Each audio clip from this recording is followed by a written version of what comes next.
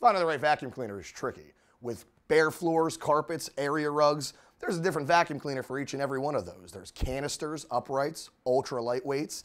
Coming to an independent retailer, you'll have an opportunity to try all of those and find out which one is best for you.